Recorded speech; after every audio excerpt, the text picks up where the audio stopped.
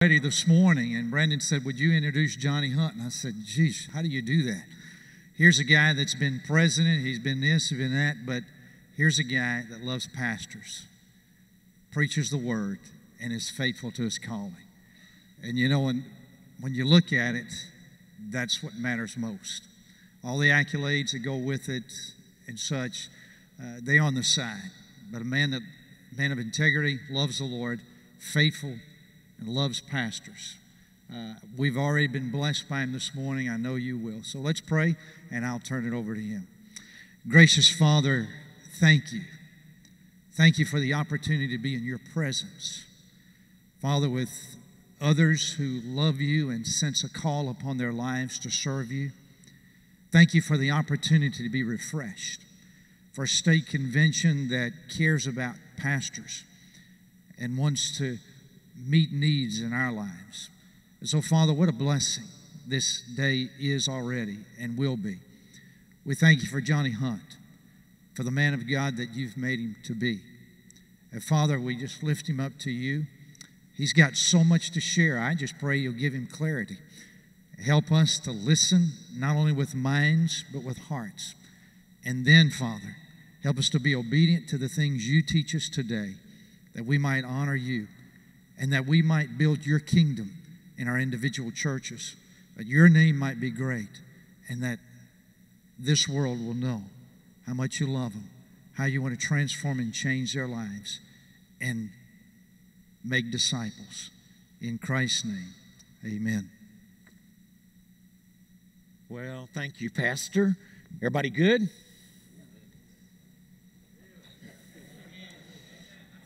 It's going to be a long morning. All right. Hey, but we're, we're glad you're here. And uh, uh, thank you, Pastor, for hosting us and Virginia Convention. And thank you for being here. Now, in my humble estimation, uh, being a pastor 40 years, 30 years there at Woodstock this year, I, I really do believe that a pastor that really takes serious his calling, that would be all of you, are the busiest people on the planet. I mean, it really, really is. And so, I, I think through stuff like that, and every now and then write. I try to do a good bit of journaling, and when I have a thought, I'll kind of write it down. Here's one I wrote down not long ago. Um, the the longer you are in a relationship with Jesus, as a rule, the further removed you are from those Christ died for. Say, what under heaven do you mean? I could spend every hour with staff, conferences, family members in the church that need to see me. If I'm not intentional, intentional about having places and people that I'm witnessing to so I can share the gospel, you can go a long time without sharing the gospel. So just thoughts come to me and then I and they challenge me. So I write them down before you know it, it becomes a leadership talking point. And um, that's that. Hey, on your table, just FYI, there's some Bible training workshop with precept coming up. Make note of that. There's a table out there with more material. Got two ladies sitting right there with that real handsome man in those chairs, and uh, they can answer any questions that's taking place at Thomas Rowe. We at Woodstock have been in precept forever, and anything we can do to get people to love the word more, we want to do it. So uh, we're sharing that. Today is revitalization. I think this is my third year kind of working with North American Mission Board. Uh, in revitalization, why revitalization? 80% of our churches are plateaued or declined. Uh, every, every Friday, we close 17 churches in the Southern Baptist Convention. Every week. 900 last year. Been doing it for years. Uh, I got concerned, began to say, who can give me a list? How much property did we lose? Who got it? Uh, when I went to one of our seminaries a few years ago, I was walking through the congregation of seminary students, and a bunch of young guys were coming up, and we were carrying on conversation. And I don't know why, but it was just one of those days. A lot of the guys were saying, Hey, pray for me. I'm a plant a church. And I said, That's exciting. I love church planting, have our own church planting school at Woodstock. We've planted a lot of churches out of Woodstock, a lot even in recent days, all over the country. So we believe in that, but they were saying this I tell you what, I'm not going to go to some old established church. I'm going to plant my own. And so I just took the opportunity to give a older man rebuke to my young brothers and said this It's not your call. You don't tell Jesus where you're going to go, you ask Jesus where he wants you to go. You get in trouble out there uh, planning your own life. It just happens to be a violation of the purpose and will of God. So, anyway, I just thought I'd throw that in to get started in case I'm trying to rub somebody wrong in here or whatever. I'll get all the meanness out and then get on into teaching and encouraging. So, there's been a remarkable flip flop. There really has been a remarkable flip flop. If we're going to start churches last year in, in SBC, we started more churches in any given year in the history of our denomination. The only bad thing is it still put us about 350 in the hole when we saw how many we buried. So, the great statement Michael um, Lewis uh, coined, I think, or may have been John Clifton is going to teach you this morning, but if we're going to enjoy more of our birth rate, we've got to stop our death rate. You know, so it's just a good good statement. So one one of the things is a lot of churches need to be revitalized. If you've not read Tom Rainer's book, The Autopsy of a Dead Church, uh, some churches can actually measure it out and say, uh, Six months, we're out of business, you know. And so, uh, what I'm trying to do, if you can help me, if you can help me, I, I can't believe I'm doing this. I'm not looking for any platform to speak on but one. I would love to be invited to where the associational missionaries meet on their annual meeting because they're boots on the ground. There's a thousand plus of them. And I'd like to tell them that, you, and they may be telling them, but I'm just going to assume that they haven't said it loud enough. I wish they would tell every church and every association, you don't have to die. You know, here's some alternatives. You know, there's people to help you with revitalization. Uh, you're going to hear later from John Mark. I asked John to come and share. He's absolutely, I'll just be honest, I think in the SBC is the best we've got for what he's going to be dealing with about re- replanning. So I'm going to do most of the teaching, but I wanted him to do a major piece and we'll answer questions about what he and I have to say. But, but these churches can be saved. So we, every church I've taken, uh, uh, my first church was 35, my second church was 37, my third church was 90, and I'm now pastoring the largest church I've ever gone to in my life. I went to a church running 200 in Woodstock. So I want you to just get that in your mind 35, 37, 90, and 200. Pastor Johnny Hunt has never shown up at a church that uh, ran more than 200. So, what has happened everywhere we've gone? Revitalized them. So, when I, I got to thinking one day, I need to start talking to some of the guys about this. And I, I met with the um, younger guys before I met with you, the 55 and up, mature living brothers in my group. And uh, we talked about how, how to, to finish well. But I, I just made the statement, and um, if you feel the pressure from this, it'll be all right. Everything still rises and falls on leadership. So put on your big boy britches and learn to make some decisions. And you'll need to make decisions. And don't wait to make decisions when you totally understand everything about it, or you'll never make a decision. God's never shown me A to Z. Sometimes I just knew A and didn't know what B was. And I got to A, and then I could see B from there. And so you just got to be willing. There is a, uh, an element of where you faith, faith that and trust. Without faith, it's impossible to please. To really just trust God for it. And so we, we've done this in so many different areas in Woodstock through the years. So in the last three years, I've taken over three churches. They were dying, going to go out of business. So this just happens. This is one way. It certainly isn't the only way. But uh, it, one of the ways was they just called and said, hey, uh, we've got so much money to bank. Here's how much is going out. Here's how much is taken in. We can survive about six more months. Would you take it? So we took one 35 miles north of us, and it's just the way we do it. And um, so I simulcast live into there. I put a campus pastor there. They got their own music. They do discipleship. They go out and win people to Jesus. But when it comes preaching time, they show a little bumper of my sermon, and I preach. And so why'd you do it that way? Well, they came so fast I didn't know what else to do, and I thought, let's try this. And guess what? It worked. So how long are you going to do it? Long as it works. long as God bless. So I took a church running 20 taking in $200 a week. Took another one running 20, 12 miles in a different direction, taking in $700 a week. It was in a, a really strong financial area. And then took one running 70, taking in $1,500 a week, but they needed $10,000 a week to pay their bills. So I took this to the church, and if you want to see what this looks like, um, I have a free church app.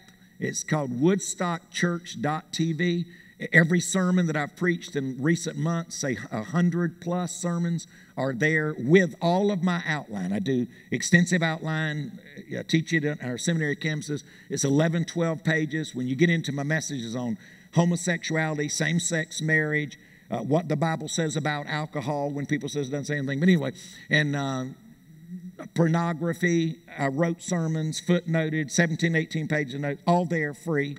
So, so you can look at it. But um, in, in, there, uh, when, when you go there, you'll see that we've got um, the other campuses that we took over. And these were churches that were going out of business. And, and by the way, we've been criticized for taking them, okay? because uh, when you got a death mentality, you rather die than see something change. And, and they get their wish. yeah, they'll die. So, and by the way, don't be bothered by criticism because the only people not being criticized are those that are doing diddly squat. It's a Greek word, diddly squat. All right, so anyway, so, so but if you're going to do something, you know, somebody did a big blog the other day and it hit all the social networks and they did a story on me because we took over those churches saying that I'm networking with um, North American Mission Board to build a, a real estate empire. I'd like to give that turkey to $3 million debt we acquired. So, anyway, um, so, so it's out there. But, but we've taken these churches over, and here's what I want you to know every one of them, every one of them, two of them that were going to go out of business, day one, day one, then we opened the doors, totally self supporting. What changed? And this is strong, but I want you to hear me. Your leaders, what changed? One thing leadership. Nothing else. Nothing else. Leadership. And the leadership cast a vision and began to lead. All right, how about the other one that was so large you took that needed all that money? I asked the church to give me three years to get it healthy. Three years. It got healthy in two years and six months and is doing fabulous. Absolutely fabulous. And so, if you want to talk more about that, that's just one way to do it. There's so many other ways. Uh, somebody comes in a replant, a group. And, and by the way, if we got guys that want to plant a church, guess what I know about you? Eventually, you, you sure would like to have a building. Well, we got 17 buildings coming available every week. If we could just get the word out and get creative of how to, how to save those and keep them. And by the way, you need to know this. Some of them used to be extremely, extremely, extremely valuable in winning people to Jesus. One church, we went and talked to them. Ten years before we went to talk to them, they led the state of Georgia in baptisms. And now they were going out of business. How much was their property worth? That one, 30 million. The land, because of where they were in Atlanta and the buildings. And, and somebody was able to really help them, and it still, still became a merger. But sometimes there's mergers or whatever. So, so here's what we're going to talk about today. Uh, you've got a life. It's, it's one life. Matter of fact, I told the other guys it's worth telling you. Average man lives to be 76. One guy came up a moment ago and said, Thanks a lot. I got five years to go. But you know, they can live longer, but I want you to hear me for a moment. The average man in the United States lives to be 76. Well, I'm practical, so I break it down. The first quarter, 19 years. Second quarter, 38. Third quarter, 57. Where do you fit? Everybody in this room fits in one of those quarters. I'm 64 years old, so I'm pressing on in to, to, the other. All right, you may say, does that really capture you? Yeah, because who was your mentor? Greatest mentor in my life, Adrian Rogers, died at 74. That was part of his retirement celebration. Jerry Falwell served on his board for 12 years. Jonathan and I talked last night. Bottom line is 73. I was just at the Cove speaking uh, last Wednesday night. The Friday before I was there with Precept Wayne Barber uh, teaching that night, had been feeling good, said he didn't feel good, told his wife, said, I'm going to sit in this chair here for a minute. She, she said, It feels better. I breathe better sitting in this chair. She woke up the next morning, he was dead. Wayne Barber, great man of God. And so, what are you trying to say? The average man lives to be 76. You may live longer, but I think every now and then, uh, all of us need challenges in our life. What if I've just got this many years left? Is my life really counting? Am I accomplishing? If I was hitting the mark in my life as to what I'd like to do, what, what does it look like? What am I believing God for? What am I pressing through for? Um, one guy just says, You know, things just aren't coming together at our church. I said, What would it look like if it came together? And when the guy asked this, What do you mean by that? Then I realized he doesn't have a clue. I mean, really, you need to know. And by the way, I'm, I'm going to tell you something else. Whatever's important to you as a leader, are you following me? Whatever's important to you as a leader is what's important to your people. There are no strong evangelistic churches that the pastor is not winning people to Jesus. There are no strong mission minded churches that the pastor is not on mission. There are no generous churches that the pastor is not generous. And I know what you're saying now. You don't know what salary I make. No, you don't understand this. You don't have to be rich to be generous, you have to be generous to be generous. In fact, if you want to read your Bible real carefully, and that's a good guide for building your church, listen to this. When Jesus wanted to give the story of generosity, he chose the poorest woman mentioned in the Bible. Did you hear what I just said? When he wanted to show corporate generosity, he chose the poorest church in the New Testament. 2 Corinthians chapter 8, verses 1 through 6. The church at Macedonia, listen to the language, it's a mariner's terminology. They were at rock bottom destitution. Now, what we want to do is compare with the rich, and, if, and you, you, all of us got that man in our church that if, if he would tithe, we could pay the debt. Well, I'm just going to say something to you. He's not. They, they, they, hardly ever do. I'm just telling you. I bet in my life, if yours does, you know, you ought to sing all three stanzas. What a friend we have in Jesus. But mine don't. They, they really don't. It's just that I've always got them. I, I, God is my witness. Jim Lawson here has been with me 25 years. We could tell you right now, if a man tied this Sunday, we'd be debt free. But he's a, he's a close friend. He just don't give. but anyway, it's just the way it is. And, and the problem is, Jesus told us why he wouldn't give. Luke 16 10, if you don't give when you don't have much, you won't give if you ever get a lot. That's a translation, loosely translated, but that's what it means. The only reason a, a, a, wealthy man is significant in his giving is because before he was a wealthy man, he was significant in his giving. That's a good word. So we're going to talk about, I wrote this, and let me tell you how I wrote this. I finally, I did one of these, and I'll, I'll tell you about them right before break. But uh, I want to encourage men. Uh, in my church, I want my people to love God's word. So I really try to keep them in the word. But I want men to journal, and don't, men don't journal much. So I, I finally, uh, Thomas Nelson, I said, uh, went and bought some journals for the five men that I'm discipling, and I thought they were just, they were wimpy and cost a lot of money.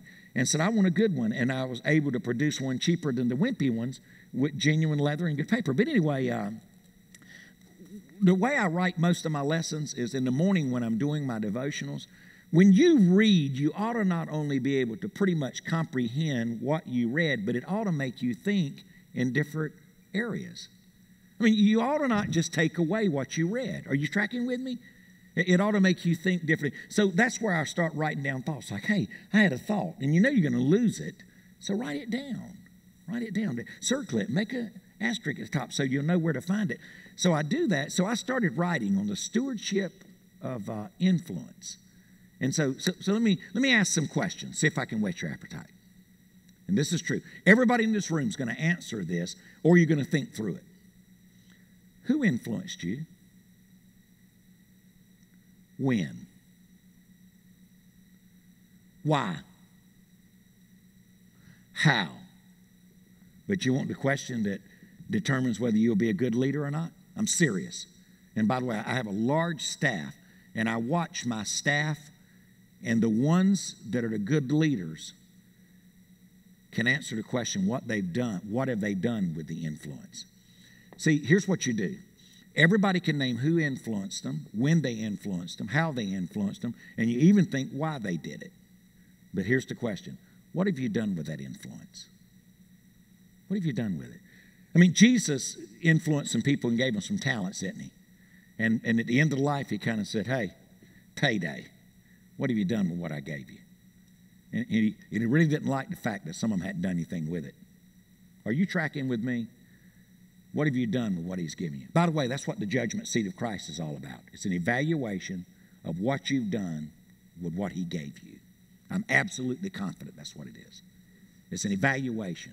It's not about sin that was judged in the cross. So, why the judgment seat of Christ? And over and over again, the Bible says, and we'll all appear before the judgment seat. Wait a minute, to give an account of the deeds done. Wait a minute, not the knowledge known, but the deeds done. Everybody says, I just want to hear the Lord one day say, Well done. And I tell our people, He won't say well done unless you've done well. You got to, what does that look like? I mean, good night. There's these phrases, and we're not driving them home with our people to see that, you know, we, we need to make a difference for Jesus. So it's not the truth you know that makes a difference, it's the truth you've obeyed. The Bible's not a book just to know. Dear God, knowledge puffs up. It's a truth to obey. I just got off the phone. I wouldn't have taken that call. I felt a little rude, but my daughter said, I've got to talk to you. I've got to talk to you. And she just moved to Columbus, Ohio. My son in law's been a church planner for the last 11 years. And she's got a special needs granddaughter with cerebral, my granddaughter with cerebral palsy, and then a 12 year old. And so she comes and texts me and said, Dad, I need to talk to you. And I said, well, I'm getting ready to meet. So I took the call. And uh, so we, we, were just chat, chatting there uh, for a moment. But when I think of, um, the influence. Um, all, all, so far, all my kids and my grandkids, as they get to age, kind of want to do something like me and me mommy's done. Isn't that good? Uh, you know, sometimes an 18 year old says, I'll be glad when I get out of that house. Um, G.K. Chesterton said, The issue is not Christianity's been try, tried and found lacking, it's not been tried. I tell you, when our families really embrace genuine Christianity, I tell you, people in your own home and your family and your friends are going to be impressed. People will be surrendering the ministry instead of running from it. So, what, what have you done with it? I have a staff member, and I'm not picking on him, but I've observed him because I tried to help him be a better leader. I take on the stewardship of trying to help my staff. I believe I've written lessons not only how to discover uh, staff and what I look for, but then once you get them, how to develop them, and then how do you deploy them. So I've got staff that have staff, all right? I've got staff that have staff under our staff. And I watch them sometimes go and share about how other people have invested in them, but they don't turn around and invest in others. So they've had people to influence them, and they love the fact they influenced them, but then they don't influence others. And so, so it's sort of, it stops. And so, so we've got to you know, pour it into others. The men that I disciple sign a contract before I will disciple them that under God, they make a covenant to God that when they finish with me, they will disciple three, four, or five men themselves. And so and I can tell you during question answer breaks, whatever. All right, so with that, that in mind, I, I wrote this lesson. Peter, Peter Drucker said this, put it in your notes. People who excel at something can rarely tell you how to do it. Let me tell you what that means. Um, you pastor a church and your church starts growing. Everybody wants to come and know, and you tell them how. You have to think hard to know what you've done that's turned it around. Oh, you, you, you name some of it, but, but really it's kind of hard to tell how, how you've excelled. It's not just it's not just one thing. People of influence influence others that normally influence others. Um, Heard John Maxwell say it, not sure who's original with it, but it's a real true statement. You teach what you know, you reproduce who you are. Um, in 40 years of pastoring, and for the last 25 years, a large staff, I can only remember ever personally firing three people. And I'm just going to make a statement. I may be wrong. You would have fired them before I did. My gift is exhortation. I kept trying to encourage them. My wife's a prophet. She said, cut your losses, cut your losses. But anyway, she was ready to, ready to get rid of him. One of the guys I fired because he was mean. I don't know if you've ever met a mean person in the church, but he was mean. And um, so he went and started a church. And after three years, he left because his church was mean. He taught what he knew, but he reproduced who he was. So he came to see me one day and he said, I'm going to tell you what, you're right. I'm mean and all I produce is mean people. He said, I don't even want to, I don't want to pastor these people that are mean. and I said, they resemble you. They're just like you. You're mean as a snake and you, you've reproduced who you are. And now I'm, I do not want to be ugly, but sometimes if you've been somewhere for a while and you don't like what you've got, look in the mirror. But anyway, um, that's, that's in true in Georgia. It's probably not true in Virginia. But, uh, but the bottom line is, you, you teach what you know. So, so if somebody just knows stuff and they stand up and teach, big deal. But if you're a doer of the word And by the way, this is a little, let me just throw this on you. My favorite book in the Bible is James. I've written two books, wrote a 400 page commentary, exegeting every verse and outlining every verse in the book of James. And then I did a Sunday school or a discipleship quarterly for James recently called Shoe Leather Christianity. Matter of fact, I'm giving you a copy. You're welcome. Free. All right, so just giving that to you. But um, in James, in James chapter 1 and verse 22, it says, Be ye not hearers of the word only. Listen to this, but be doers of the word. But now we love to teach, so look at verse 25 in chapter 1. Be ye hearers, be ye not hearers only, but listen to the change in the Greek word. Be doers of the work. Doers of the word are doers of the work. Now, if you, depends on who's in your church, there'll be people to say if you talk about work, you're a legalist. We're, we're in grace, amen, just grace. Let me tell you how some people translate grace. It's what I call lazy river riding. It, my kids, I, have got a place at Panama City Beach, and it's a, a half a block from the water park. So if you've ever been to Redneck Riviera, you know right where it is. My grandkids take me and they want to ride the logs and they want to ride this and ride that and all the rides. And I said, Nope, I'm going to be right over here. I get me an inner tube and get in the lazy river and it carries you. And that's what some people think grace does. Grace is, let me translate grace for the Christian, it's power to obey.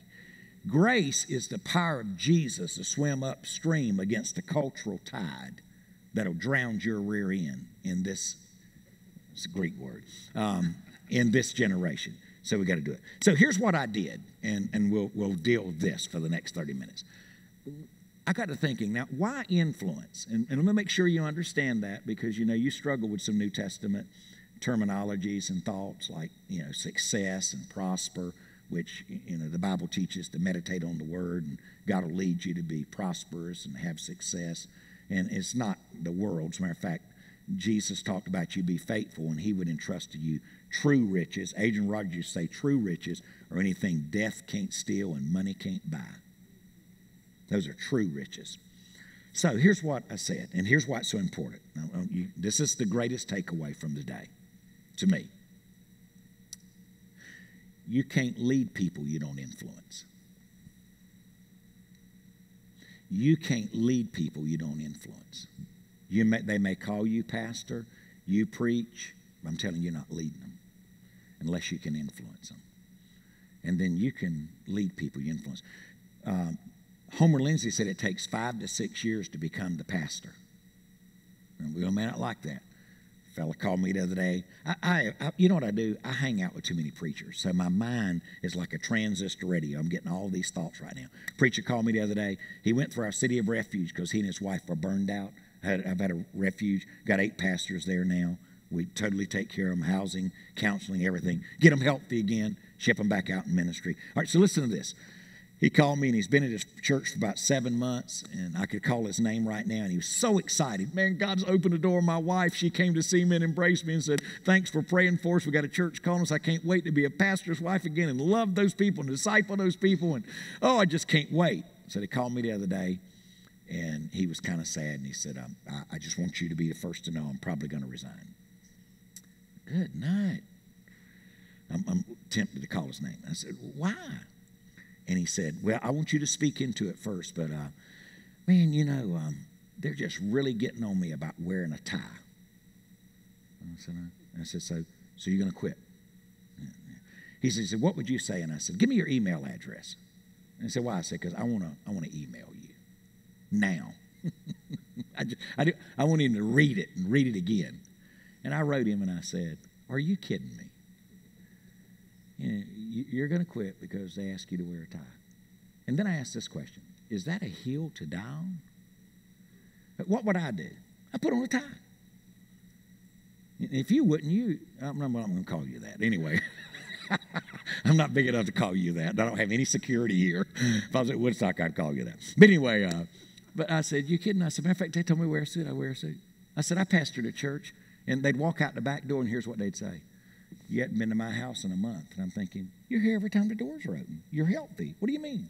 All our pastors always visit our homes. So what did I start doing? I visited homes. Y'all all right? You doing right? And you may say, well, I wouldn't have done that.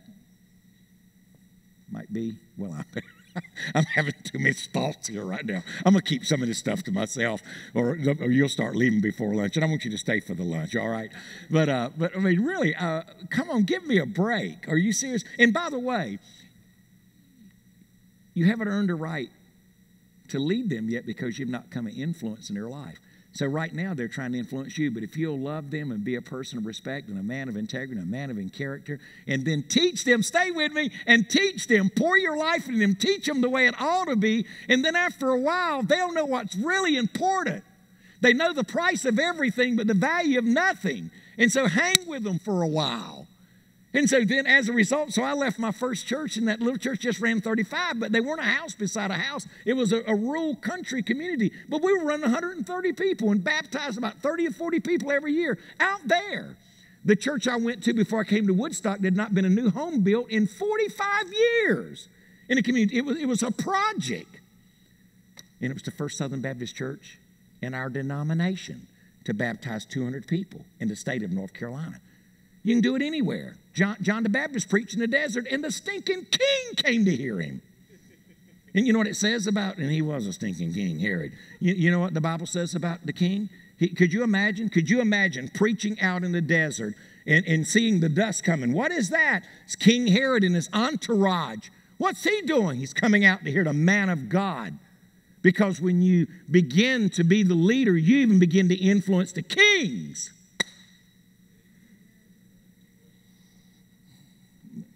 I love this though. It says, and Herod, after he heard him, would do many things. What? It don't tell us. That verse drives me crazy. I want to know what he did so I can preach about it. And I don't know what he did. All right, so here's, here's where we're going. If, if you cannot lead people you don't influence, how does one gain influence? And so, what we're going to do is I'm going to walk through what I wrote and see if it makes sense uh, and, and, and it's what we've kind of tried to use in our own ministry. So let's talk first of all about the building of influence. And here, here's a good way to say it. Can you hear the truck beeping? Beep, beep, beep. It's backing up. The lot is vacant, and it's going to drop the material that's needed to build a life of influence. Now, why do you want influence? Let me, let me skip to the end. I'm going to skip to the end of the message. Why would you want to be a person of influence? And by the way, don't act like you don't know what influence is or you think influence is bad. Why do you call an influential pastor in your life to say, I'm thinking about leaving? If you would write a cover letter for me to go with my letter to that committee, they might look at me. A leading pastor in America, it's, it's in my phone. I just got it a moment ago. Uh, I was in California last week, and the ch- church that Chuck Swindoll, the Evangelical Free Church he pastored, reached out to me. This ought to encourage you. I'm 64 years old and asked me if I would prayerfully consider. I can't believe I'm telling you this, but that isn't what I wanted you to know. So if you think you're 50 and nobody will ever look at you again, I'm ancient and they're calling, okay? So here's the bottom line. Because, you know why? Because I've still tried to influence people. But they said, if you are not going to consider us, would you recommend somebody? So, why did the guy in te- Florida this morning in a wonderful church write to say, Would you tell him about me? Why do you want me to tell him? Because I have influence with him. Um, would you put in a word when uh, Greg Laurie speaking to me Sunday said, would, Why would somebody call me from Kansas? I'm just trying to get you to understand what I'm talking about. Hey, while Greg is with you, would you tell him about our church in Wichita? Why? Because if somebody else tells them. Why did Junior Hill call me the other day and say, Pastor Johnny, there's a great church in Corinth, Mississippi. I've been going there for years. The pastor really admires you. Please go and do a Wednesday night for them. Oh, Junior, I'll be glad to, Junior.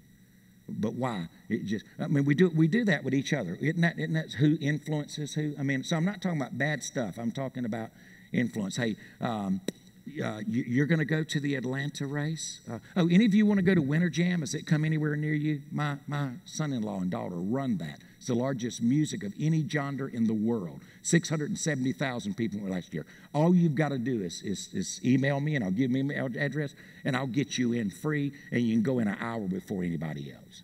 and I'll get you backstage so you can go hug Toby Mac. All right? So, what is that? I'm, are y'all tracking with me? That's influence. Hey, let, let me check. I know the general manager down there. Your, your wife put in, a, put in an application? Let me call him. What is that? Influence. They, they may have, uh, the, the, the uh, leader of the personnel for the Cherokee County Schools plays Jesus in our Christmas program. So when somebody calls up and says, I'm trying to get a job teaching in your schools. You know anybody? I say, Yeah, Jesus. I, I call Jesus. And they think, Well, I know you're going to pray for me. I said, Oh, no, Jesus runs that place. And, uh, but anyway, it, so it's, it's funny. That's influence. So, so what is it taking that? Because I want, I want to lead my church, I want to influence my people. So when I stand up, and by the way, let me tell you what influence looks like.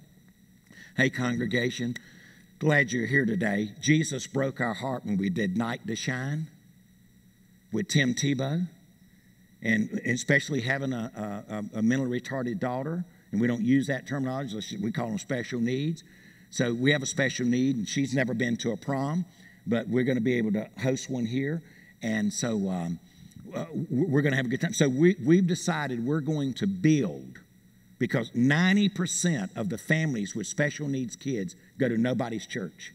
90%. The divorce rate over 80, over 80% of special needs kids. So, with that in mind, we, we, we're going to build a department. I've got, the, I've got the space. I need the money. So I stood up on a Sunday and I said, We're going to take the Lord's Supper. And in the first century, you can read history, first and second century, that uh, Jesus said they used to do the Lord's Supper and sing a hymn and go home. But we found out the early church would take an offering for the poor. I said, We're going to take one for special needs. And you didn't know anything about this, but I need $75,000 today. And I, let's forget about any size of the church. Let's just say you've not even announced, but you're going to ask for something. So put it there. And I got twice as much as I needed to close. So that's influence. If I can't influence them, they ain't giving diddly squat. They're going to leave there saying, There's preacher begging again. They'll not see the need because they don't, don't know of any. I'm some of you thinking, well, tell me, hurt and tell me how to get this because I need some money at our church. All right. So, number one is integrity. Integrity, I, I tried to write my own definition because if you look it up and you can research some other people, but if you look it up, it really is wholeness, trustworthiness, which are really truthfulness. All those words fit into it.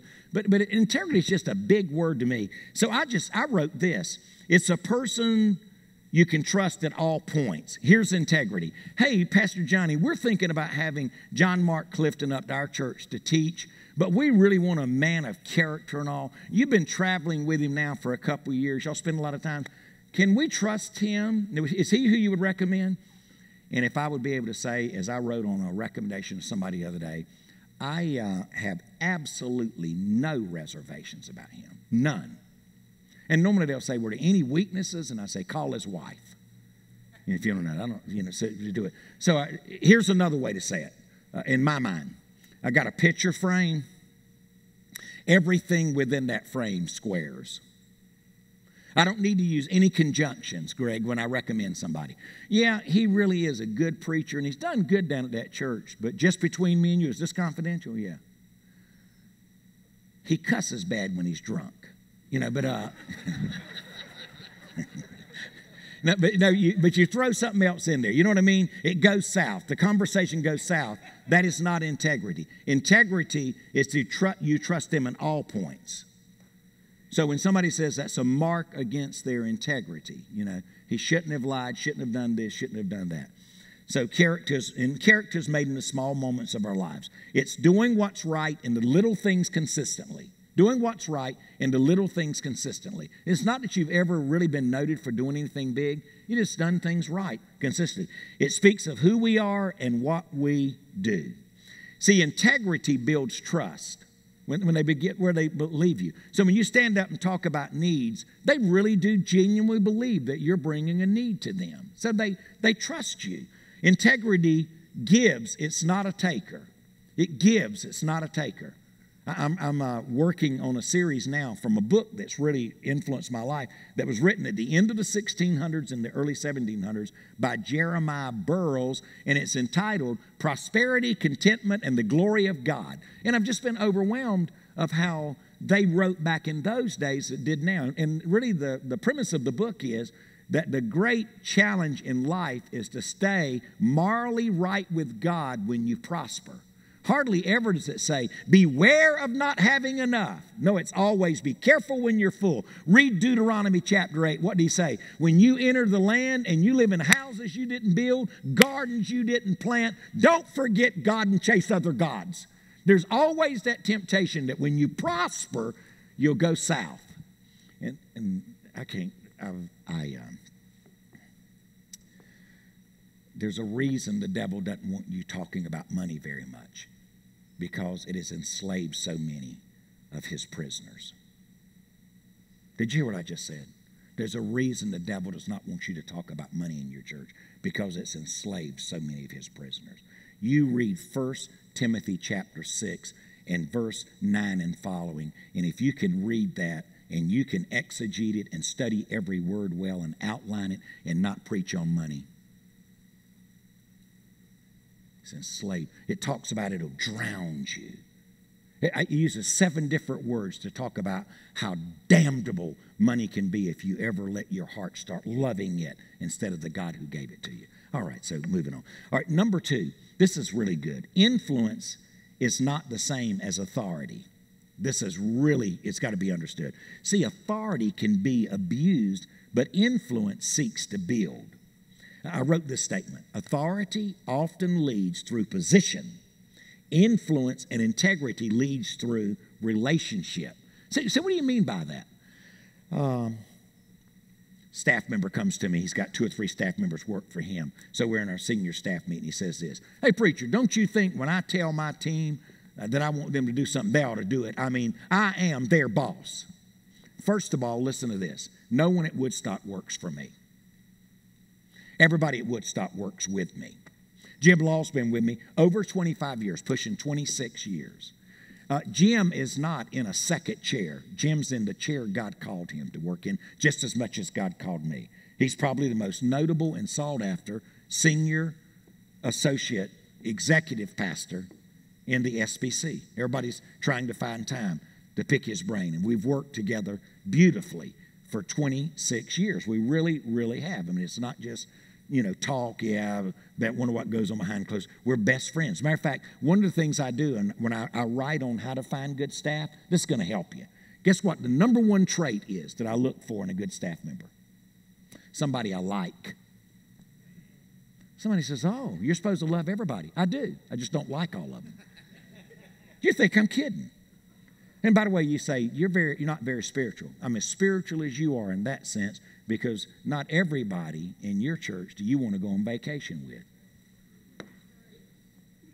Some of your, you'd skip vacation this year if you had to go with some of your people. uh, and if you're saying no, you're new. You just got started. You hang in there, all right? So, um, so here's what you do you try to lead them like, hey, I'll tell you something. I'm pastor, you go do this. I, I love the story of Jesus falling asleep in the back of the boat before the storm. Remember that? Had he been a Baptist preacher, he'd have never been asleep in the back of the boat. He'd have been up on the bow saying, Hello, I'm in charge. but he's back there in the sleep. And the reason you can go to sleep is because he was in charge. I love that. I'm glad I came so I could hear that. so he's asleep. He's asleep in the back of the boat. And then they wake him up. Master, cares not that we perish. And what does he do? He gets up and he uses a Greek word that says this to the wind Hush! and the wind hushed. Isn't that wild? And then he challenged them for not really trusting him. By the way, this is cool. When they were in the storm, they feared the storm until they saw they were with one that could calm the storm. And then, look at your Bible, then they, they feared the Lord. That's why the Bible says the fear of man is a snare. You fear God, you won't fear anything else. Proverbs. I read Proverbs every day and I memorize scripture. Here's one Proverbs chapter 28, verse 1. The wicked man flees when nobody pursues. You're scared of everything. but the righteous is bold as a lion. Can we translate bold? Freedom of speech. Doesn't mean that you're brass and I'm bold. No, it's just you have freedom of speech to say the truth to your people. Number three, influence is about character. Character is what you know you are, reputation is what others think you are. I, uh, we're, we're in the greatest evangelism movement right now we've been in in years and years and years at Woodstock. And uh, either at lunch when we're eating a sandwich because I'm hang out with you guys, or uh, question and answers with John and I this afternoon. I'll fill you in on it. But one of the things I've been doing for years, and I've, I, I don't know if you've ever seen it, but Chuck Kelly influenced me when I was with him. So when I'm out to eat, a, a lot of times, not all the time, but I'll just ask the person, i will just say, I'm getting ready to bless this food. Can I pray for you? So my wife and I were out eating the other day, and she didn't want to go to eat where I went to eat. And I begged her. I said, I, I just love this place, and please, there's only one thing on the menu. And I thought, oh, sweetheart, please eat that one thing and let's eat here today. So we went. And we got in there, and the lady came to wait on our table and brought our food. And I said, Hey, ma'am, I'm getting ready to pray with my wife. Is anything in your life I can pray with you about? And she busted out crying and left the table kind of my wife kind of looked at me. She's a prophet. She said, "How's that working for you?" You know, and it's uh, and so and I wondered, what did, did I offend her that just by asking that? And then she came back in a moment, and here's what she said. Sir, let me explain what just happened. Nobody knows it, nobody remembered, but today makes a year to the date that the best friend I ever had, my daddy, died a year ago, and I'm struggling today. And by you asking, it just made me feel that God hadn't forgot me. And she said, So I need to ask you, sir, tell me the truth. Are you an angel? And my wife said, Absolutely not. they, they will balance us out, won't they? And uh, so they did. Uh, influence is about being genuine. Paul referred to Timothy in 2 Timothy 1, verses 2 through 6, he referred to him as being one with unfeigned faith. Let me just translate it. You're the real deal, genuine. And, and you know, let's be honest. There are different people with different gifts and all, and all of us are not alike. But let me tell you something all of us can be real, be genuine. Number five, influence requires humility. Hey, have you ever read this statement? Listen to this statement. No one's ever challenged it. I read it from Warren Wiersbe. Jesus, only one time in the entire Bible, ever referred to anything to do with his own character. Others did. Be holy, for I am holy. It's Peter quoting Old Testament.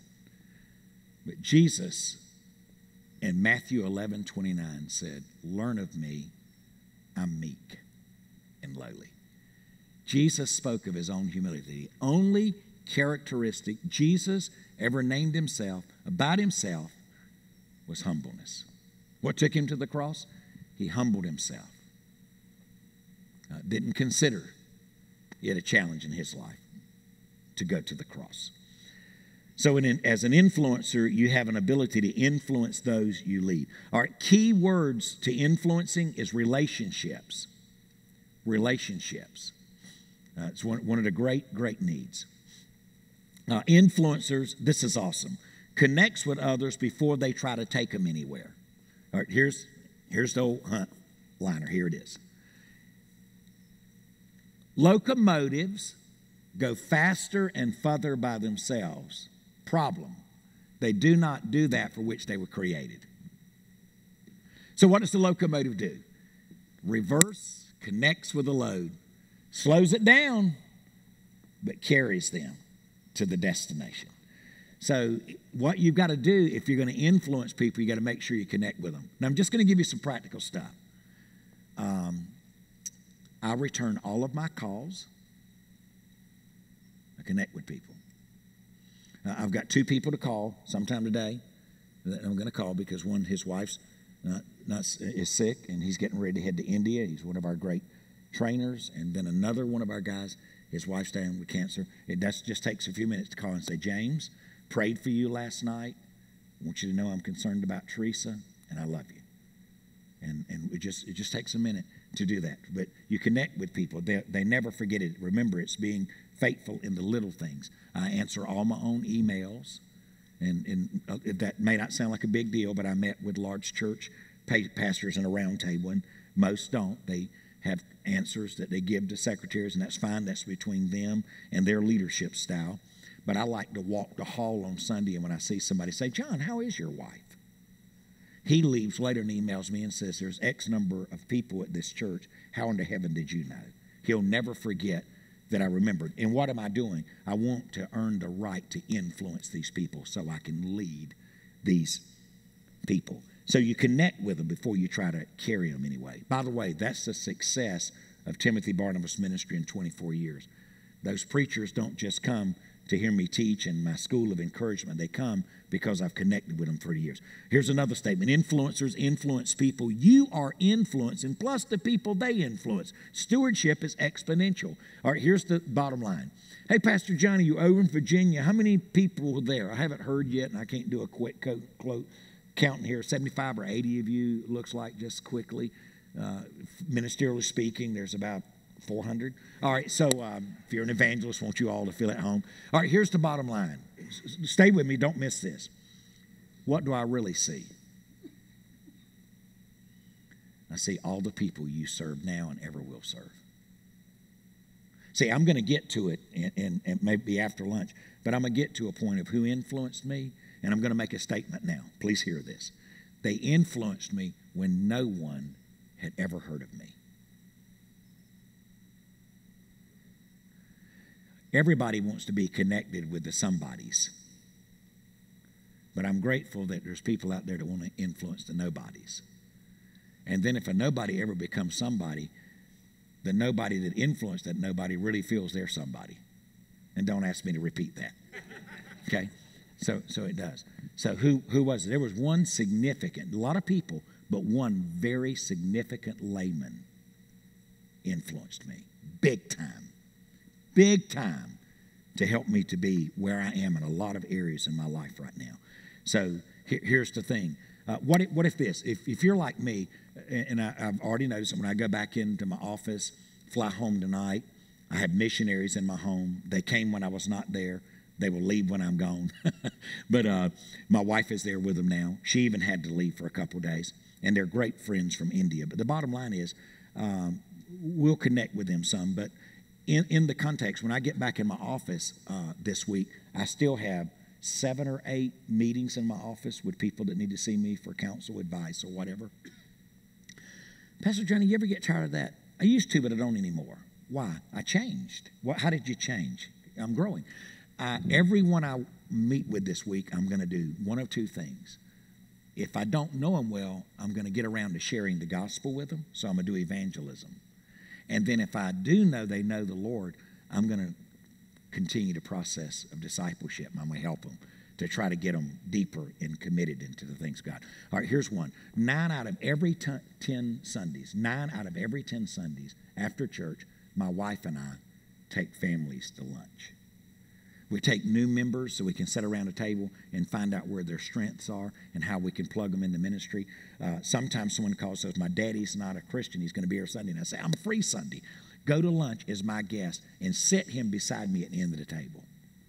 And I'm going to share the gospel. Why? Because I've got to be intentional. Remember, why is that? Because the longer you know Jesus, the further removed you are from those Christ died for. I go to Dixie Speedway. I've been there the last two Saturday nights. I was at Dixie Speedway, fastest growing 3 8 mile dirt track in America. Oh, you're a big race fan? No, not really. Why do you go?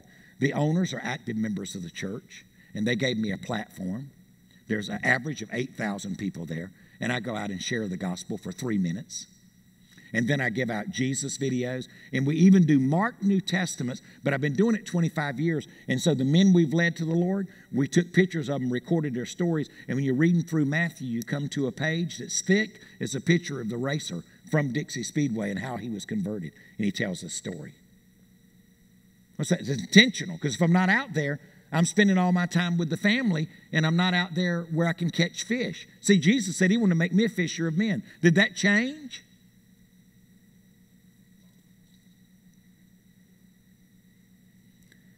So, influencing others teaches them to reinvest their gifts. In other words, what I want to do is influence people and then them say, Johnny influenced me, so I'm not going to bury it. I'm going to influence others. Now, in order to influence others, you must keep growing yourself and have something in your life you still look forward to. So, I read a lot, and so I'm always learning something new. So, when I'm with people, I stay pretty fresh at the stuff that I'm sharing with them. I gave them one statement this morning. I get to give you this one, and then I've got two minutes. Here it is. Listen to this. When you wake up tomorrow morning as a leader, you do not have problems to solve, you have choices to make. And if you all you think about is having problems to solve, boring. And I want joy, I want to love. I love doing what I do. Doesn't mean there's some challenges, no. But I've been doing this long enough, doggone it, that I ought to be able to say, I quit, I'm out, I'm gonna find something else to do. I want, a, I want an office job with NAMB, Lifeway, where I can just do something in the office that maybe helps people out there, but I'm tired of people. but I'm not. I, I, still enjoy being in the mix, and so I want to do that. Uh, influencing is a great stewardship of your life. So if you start just thinking of your life as an influence,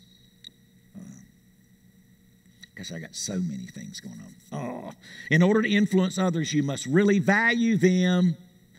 By the way, you can't lead people you don't believe in, and you can't lead people you don't love. And they know whether you love them or not. And they know whether you believe in them or not. I've got to believe in them. Somebody says, I'll tell you what, I, I got the sorriest people I've ever pastored. You got to change that attitude. I remember the jokes when I first came in ministry. Yeah, the reason I play golf, I named those balls after my deacons you know, and you know, and it's just, and, and, you know, and I know it's that kid, and yeah, and I used to laugh, but if you don't watch it, and I want to be honest with you, if you don't watch it, that begins to poison your spirit. How much of that can you take in? And after a while, you begin to reflect that, you know, trash in, trash out. It is funny though, but anyway, uh, so it's, uh, I just thought I'd throw it out there. Uh, so, an influencer is a people lifter or a people builder. What people ought to say is, man, every time I'm with him, I just feel like a better Christian. Uh, they, they help me. Um, what, what are you trying to help your people do to reach their God given potential? And then here's the bottom line Jesus Christ is the ultimate influencer. And think of the people he influenced. And, and, and ask me this afternoon about my discipleship. And about my discipleship, ask me how I pick my men. You know how I pick my men? I watched how Jesus picked his. That's let's, let's just quit on that one until I come back. But let me tell you what I'm going to explain that it, Jesus ultimately influenced, and then I'm gonna, I'm gonna pick back up where I left off. Um, Jesus, you think it's wise to put Matthew and Peter in the same room? I don't, I don't believe you ought to disciple them together. Why? Matthew's been working for the Roman government. We're ticked off. And remember, Simon Peter, even after he got saved, liked to cuss, fight, and carried a knife. Read, tell your people that. He did. He, he was saved and he still had his knife, still cussed, swore, and liked to fight. And I wonder if he ever thought about, I'd like to take Matthew's ear off when Jesus is not around to put it back on. and why is that? He could have offended. So he put him in there. Then you put uh, Thomas, and don't just think of Thomas as a doubter. Follow more of Thomas's life. He was critical. He had kind of a critical spirit. Well, well how about um, how about uh, James and John, the Zebedee brothers? Um, they struggled a little bit with prominence. Hello? Jesus let us in on this. So he had a motley crew. Let me tell you what he didn't do. Guys, hear this. He didn't pick the five best guys in his church. Yeah, I'm discipling five, and I'm thinking, you ought to be ashamed discipling them turkeys. They ought to be discipling themselves. Don't get the best you've got that's been in the Word that long. So I named mine. I named from church the other day. And one of my guys texted me and said, my wife said you said you named us. Did, did you name? What did you call me? Because one of them I named Knucklehead. I named one Hardhead. I did. Went public with it. They're after me, but I went public. Pray for me, y'all. All right, but the bottom line is, I mean, th- these are guys. But that's what I wanted. I wanted one. But let me tell you about him. Can I tell you about Knucklehead? You ready about, about Knucklehead? Called Jesus my witness. We're week number 50 this coming Sunday. You know what Knucklehead is? He just entered the uh, diploma program at Southeastern Seminary. He's 56 years old, but I've helped him to realize that if he's still breathing, God can still use him, and he believes God wants him in vocational ministry. so he's pursuing it. How about hardhead? I've helped hardhead to become vulnerable and, and, and, and to understand what humility is because he's just so stinking arrogant. Um, who's the other one? His wife said, Oh, to God, what I'd give for some man to pour into my husband. There are women that want their husbands to become more godly and that walk with God. So, and I could, one of the others is a businessman, and I've never seen, he, he has um, 2,500 people work for him across the country. And yet he sits in there and he's become the most vulnerable one in there. He sat there the other day and he said, and he's noted, uh, so I'm told, to be one of the most generous men in our church. And I don't know, but that's what I'm told. But he told me the other day, saying, compared to all that God's given me, I'm probably the greediest man that will hear you preach this morning.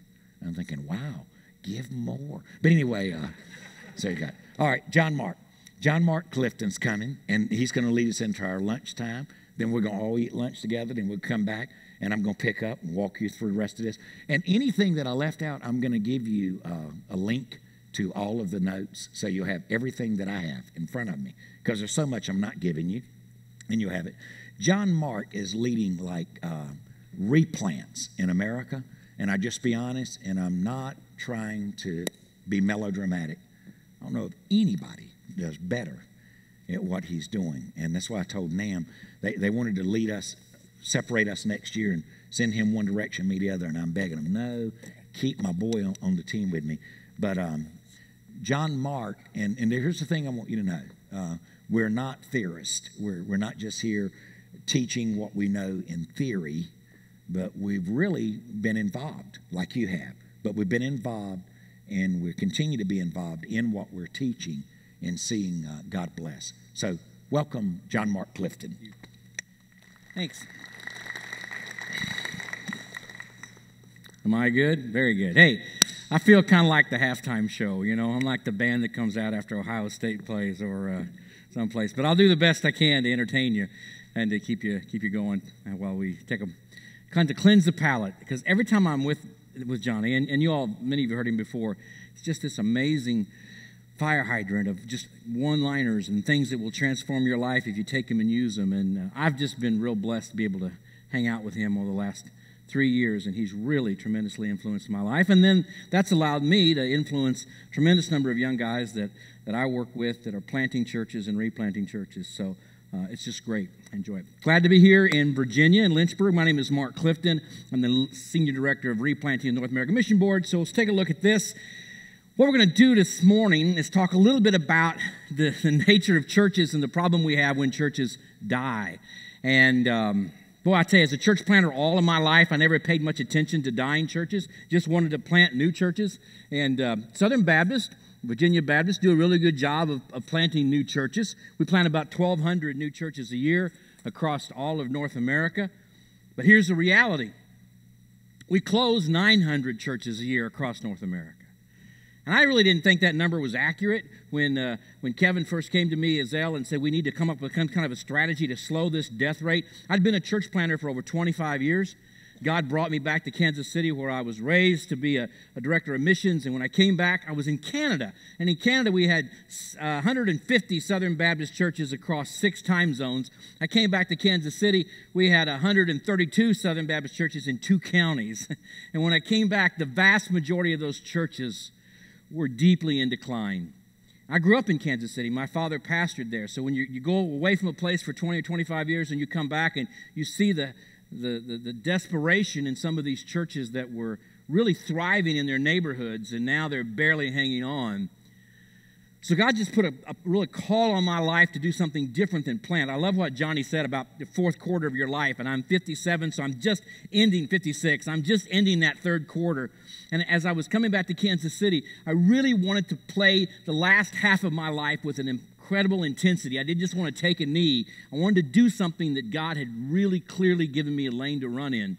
And I was standing outside an old church one day in Kansas City that was about to close, literally about to close.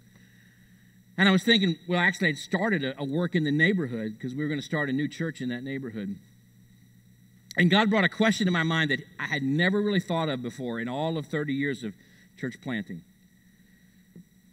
What about a dying church brings any glory to God And what about a dying church says, Our God is great and his gospel is powerful? And I realized when that church closes in the middle of that neighborhood, it makes a huge statement about God and His name. And we exist to glorify Him. And all of a sudden, at that very moment, my whole life really just took a pivot. And it wasn't so much about the strategy of how best to reach a neighborhood, although that's important. The ultimate strategy is how do we glorify God? And you don't glorify God when you see a church close. So I made myself available at that moment if God could use me to replant that church. And I stayed there 10 years, resigned as a director of missions, and it was the hardest work I'd ever done, but God was gracious and blessed us. And so, out of replanting that church and using it as an incubator to plant other churches and replant many other churches, Kevin reached out to me and said, How can we look at something nationally? And I really didn't think we closed 900 churches a year. I thought those numbers were off or something, but they're not. We've gone back and dug deep into them, and, and that's exactly what it is. And then I figured, well, they've got to be like out in the middle of nowhere where nobody lives. That's not true. The vast majority of these are in cities. You see, 77% of the churches we closed were in cities over 100,000, 90% over 10,000. Go to the next one. So here's where we're going to kind of land a little bit this morning that might connect to where, where some of us are. One of the first things we did, we took an exhaustive look at these churches that died. We looked at their life over the last five or eight or ten years of their life, and we tried to find what are the common things, what are the things, and, and we came up with, with a number of them. And so this morning, as we look at these, these are things that if you see evident in your church, they're not particularly signs of health. In other words, they're actually signs of churches that are having some problems, and they're things that dying churches all have in common. First one is they tend to rely on programs. Now, that's not unusual because we sort of brought them up to believe that programs can solve most problems. And there was a time in the life of, of our culture and of churches and church culture when programs did work really, really well. But today, those programs don't work as well as they once did. And let me give you a really good example, kind of what I'm talking about. Whenever I consult or work with churches that are in deep decline, they often don't have any youth, right? And so, what do they normally say? I hear it all the time, and you probably have heard it too. We sure need some youth here. So, what do we need? Well, we need a youth program, you know. And what's that mean? Well, that means we we maybe hire somebody or appoint somebody to volunteer to say you're in charge of the youth, and then you run a program. And then, if the youth don't come, we can then blame the youth leader and the youth program that it failed.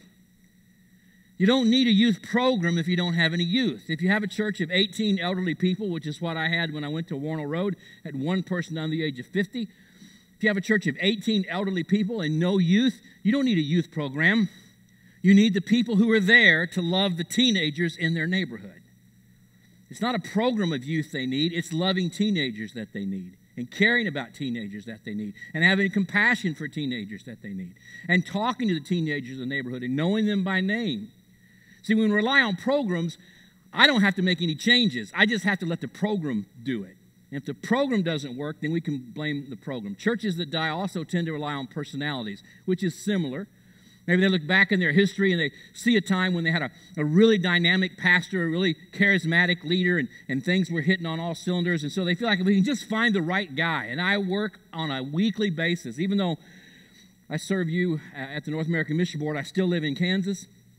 And I still lead as the association there as the, as the leader of the revitalization team. So I'm always consulting with churches, and right now I'm helping replant a church in Independence, Missouri. It's my second Sunday there. And whenever you sit down and talk to them, like this church in Independence, the thing they're really geared on, they, they got their pastor search committee elected, and they met last Sunday night. While I'm sitting here, they got a text, and they're all ready to go, and, and they, they're, they're in serious decline. Okay? Church was about 400 in gathered worship 12 years ago, we had maybe 60 Sunday morning. But they're anxious to call that next pastor because they really believe that if we just find the right guy, we can, we can, this can come back again. The reality is, you're not going to find that guy because the, the, the problem isn't at this point that you don't have the right guy. The problem is what's going on with those who are, who are here. And you can't just project it onto the next guy because you know what happens? If you call him and, and it doesn't work, you can blame him and you can let him go or he can wander off. And you get in this cycle all the time. It's not a program, and it's not a personality. Second, third one. They tend to resent the community for not responding as it once did. There probably was a time in the life of that church when everything was gelling and they were somewhat connected or homogeneous or at least understood the community and the community understood them and they represented the community. They didn't even think about it. It just was what has happened. But over the years, sometimes even over a period of months, the community can change, the church doesn't change. And rather than the church feeling a responsibility for that, oftentimes what happens in declining churches is the church kind of resents the community. In other words, it's sort of like this. If people are just different, they just don't do what they used to do. We used to, they just, they don't respond. And, and whenever you talk to a declining church, it's almost as though they, they blame the community. If, if the community was like it once was, we'd still be all right. And, and, and this strange thing of projecting the failure on, on the lost and on the community. Next one. They value the process of decision over the outcome of decision. Now, after spending 25 years planting churches, most church plants I was part of, we, we valued the outcome of the decision, and the process was simply uh, a means to get us there. But in a declining church, really the outcome is not nearly as important as that we maintain this process. The process becomes prominent. And the process represents, in many ways, a lack of trust in leaders, a lack of trust in each other, and wounds from the past. Because every time perhaps something bad happened in the past, they will add a bylaw or, a, or, a, or a, a, something in their constitution or something in their process, try to keep that from happening again.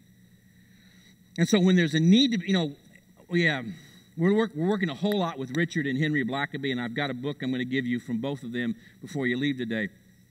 And Henry himself spoke to a group of 200 young replanters in Alpharetta a couple of weeks ago. And, and he said, just like he said for 50 years, he told those young guys, he said this. He said, When you see God at work, that is his invitation for you to join him. It's not his invitation for you to consider it. And so many times when churches value the process of decision over the outcome of decision, even when they see God at work, they have such made it so difficult to pivot and to respond so quickly that by the time they get there, if they ever get there, that opportunity has passed. They're not structured in a way that allows them to pivot quickly and respond quickly. And you're going to hear me talk about it in a minute. One of the greatest gifts we have is the normative sized church, the church under 250. And one of the greatest things about a church under, now check this out and listen. One of the greatest things about a church under 250, which is every church I've ever pastored, is this. You ought to be able to be like a PT boat in the Second World War. You ought to be able to turn quickly, move fast, and react quick.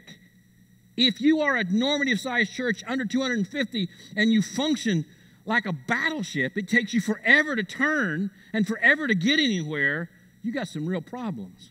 You're not playing to your strengths. The strengths of the normative sized neighborhood church is we can be we can move, we can but if your structure doesn't allow you to do that, and again, if the process of decision is more important than the outcome of the decision, what that just says is we don't trust the people that we have asked to lead us we have to ask them to lead us. Why would the New Testament spend so much time describing the qualifications of leaders, and then the church will select the leaders if the church doesn't let the leaders lead? And if the church can override every decision the leaders make, then the leaders aren't leading anymore. And so it all just really grinds to a halt. And we've seen that over and over and over in churches that die. Their process of making decisions becomes far more important than even the outcome of what happens at the end. Just make sure we man, we respect, we honor, we do not deviate from this process that over time has just become more and more cumbersome. They value their preference over the needs of the unreached. And put it this way the church tends to program and spend money and spend time and spend energy on the ones who are there rather than the ones who aren't. And if a church is, is concerned, look, if you ever get to the point that you're concerned about doing things to keep the people there so you don't lose the ones you've got, that's kind of a death wheeze. Okay? You, you can't do that. I mean, you, you've got to be willing to say, what is it that the people we're trying to reach, what do they need in what we're trying to do? And let me just be very frank about this. The, the biggest struggle I had at the church where I replanted 10 years ago, and maybe a picture of it later, is Wornall Road Baptist Church. There was a lot of struggles. I mean, it's the hardest thing I'd ever done. I'd planted churches in Montreal and Quebec among French culture folks who didn't like evangelicals. And I'm very honest with you, it was harder to replant a dying church in Kansas City than even that. But of all the things, it was a real struggle. It was, and I, if you don't eat in your sanctuary, I don't want to get you mad at me, but it was eating, and drinking in the sanctuary. It was like they couldn't even begin to put their mind around that. And yet we were right in the middle of a neighborhood that was one of these neighborhoods that was really coming back, you know, and had a lot of young professionals and, and, and coffee shops on every single corner. First time we ever had vacation Bible school, the first few months I was there, I brought in a team from Alabama, and they had a big bus and brought in a youth choir. They put on a VBS. Anybody ever do that and have one kid from the neighborhood show up for your VBS? We did. I had one little six-year-old girl. Was the only girl we had in Vacation Bible School. Her mom was a physician. Her dad was a computer software guy. She had two little twin brothers who were about two First day vacation Bible school, they live in the neighborhood. They come pushing the stroller with the two twin boys, and they come with little Kai holding her hand. And we sign her in, and, and we don't have any other kids come. And I was just, I thought, this kid, this girl will never come back. So her parents come to pick her up, and she tells them she was the only girl, only child in vacation Bible school. She came back every week because she really liked all the attention she got. And actually, I did what you would do. I got on the phone that afternoon. I called every pastor I knew in Kansas City. I said, Send your kids over here, please. This is embarrassing. And it was a struggle. It was a hard. I don't have time. This the point of this conference isn't to tell you how I replanted. But a couple, a, a couple, couple of Sundays later, I'm sitting in my office, and the sanctuary at Warren will seat 610 people, and in those days we didn't have 25. Okay, that's a really encouraging place to preach. Just want you to know. Most Sundays, I could shoot a cannon from the pulpit on Sunday morning and not hit anybody. Okay? It was really tough. And so I'm setting and I'm trying to be in, trying to sort of be attractional and do what I did as a church planner, and none of it worked. But again, that's not the point of this thing today. But I was setting, I was, I was coming out of my office and I was heading to the sanctuary. I looked out the window and I saw that same family walking toward our church. And both him and her had these big, large silver containers of Roasterie coffee, which is the main coffee shop there in Brookside. And I thought, for one minute, I thought, man, I hope they're coming. And then immediately I thought, man, I hope they walk on by because the one man I have in my church, he's 84 years old. His name is Forrest Lowe. He's been there uh, since, I don't know, 1946 or something like that. He's at the door handing out bulletins and making sure nobody brings anything in to eat or drink. That's his spiritual gift, is keeping the sanctuary clean. And I thought, I know what he's going to do. I thought I would almost rather they just go right on by and they're headed off to the park because if they make a turn and start up the steps of those church, he's going to tell them they can't bring their coffee in here. And those things are really expensive and they're just not going to come in and they're never going to come back. Can I get an amen? Can you know what was going through my mind at that moment? Because I'd had long discussions with him for a few months about how we really need to, you know, it's okay. By the way, this church where I'm replanting now, they have a sign that says no food or drink in the sanctuary. But every Sunday, I bring in a bottle of Diet Coke and set it there while I preach. And I haven't said anything yet, just trying to loosen them up a little bit. I'm sure they've said a lot. They just haven't said anything to me yet about it. So, truth for this true story. First Sunday night I was there was two Sunday nights ago, and I did the same thing. I, I brought in this time though it was a it was a it was a cup of, of Diet Coke with a lid on it, you know, from Taco Bell or someplace. And I came in and I could tell they were all looking at me like, is he really bringing that in here? So I, I brought it in. This is a true story, man. that's, why, that's why you shouldn't, uh, I shouldn't have done that. So I go over, fortunately, the, the, the table there, they have, it's not the communion table, there's those little flower table sitting there, has glass tops on it. I set that thing down and it fell over, you know. But fortunately, the lid stayed on because I told my wife, I said, if that lid had come off and it had gone all over the carpet, we'd never brought drinks in again. It was, okay, whatever. But that did happen, actually. So anyway, I'm, I'm, lock, I'm watching these, this young couple, and I realize they are probably going to come to church. And I'm at, I'm at the one end of the sanctuary, and Forrest is at the other end at the door at the front. And I'm thinking to myself, do I have enough time to, to race down the center aisle and get there before they get there? And I know I don't. So I, I just simply call out as loud as I can from the front of the sanctuary to the back. I said, Forrest, I need to see you right now. Quickly, come quickly. He turns and he walks in, and as he's walking in to see me, the uh, Von Fendel family slip in and sit on the back row with their coffees. So when Forrest comes up, I take him. This is that influence thing you, that, that Johnny was talking about. I, Forrest loves model trains or he loves um, country music shows. I'd hung out with Forrest and really got to know him in the few months I was there. So I held him on the shoulders. I said, Forrest, you got to do me one favor. I said, don't go back there and tell that young couple they got to take their coffee out of here, all right? And he looked at me and said, oh, I won't do it this Sunday. I said, Forrest, don't do it ever, okay? Don't do it ever. Don't do it ever. I won't tell you how I had to unpack all that, but that's where you value your preferences over the needs of the unchurched, okay? That's just, I, just yeah. Anyway, next. I did actually end up baptizing that little girl, so it was cool. They stayed. Uh, they have an inability to pass meaningful leadership to the next generation. All dying churches want young people. They, they, none of them would say we don't want young people. But what they often mean is we want young people to be here, to be in the pew, to clean up the building, to work in the nursery, you know, to make us feel youthful. But that's not what I'm talking about.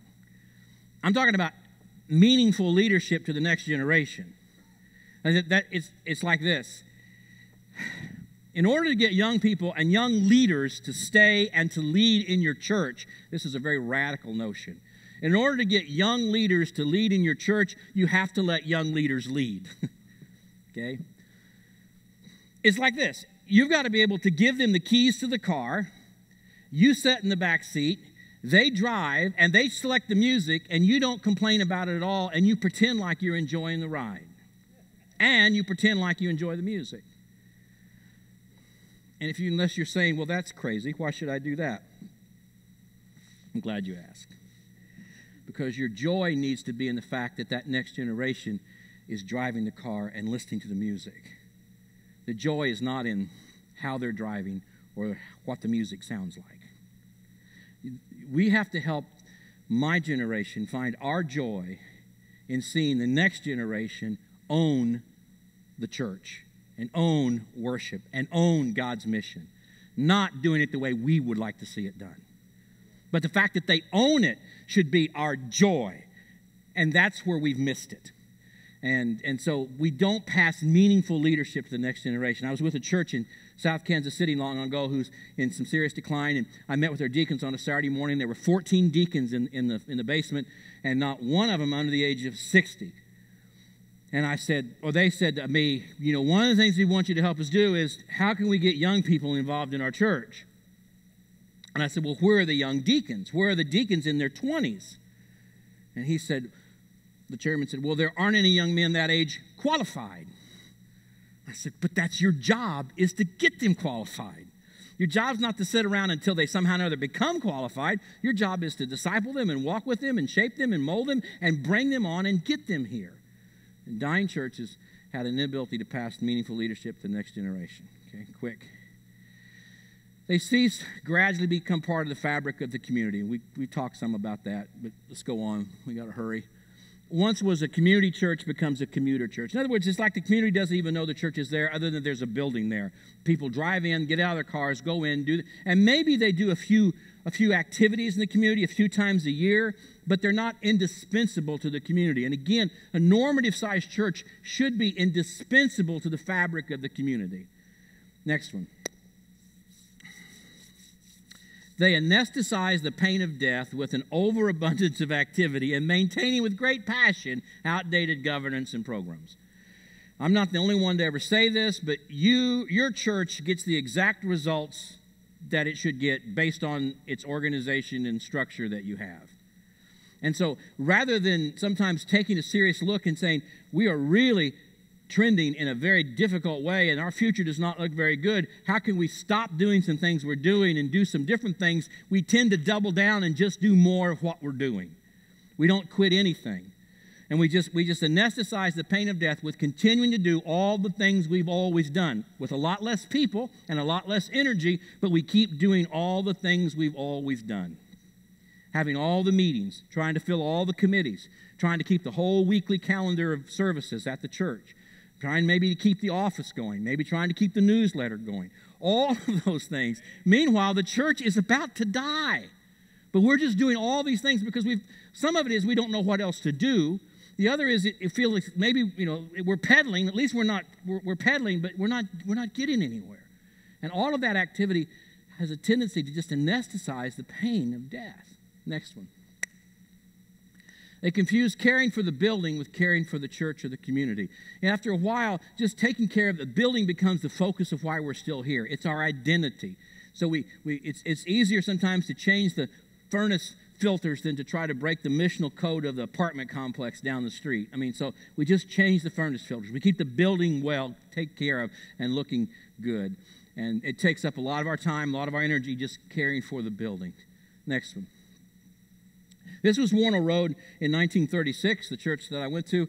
I call this church picture when Southern Baptists ruled the world, because we did, and we didn't even know why.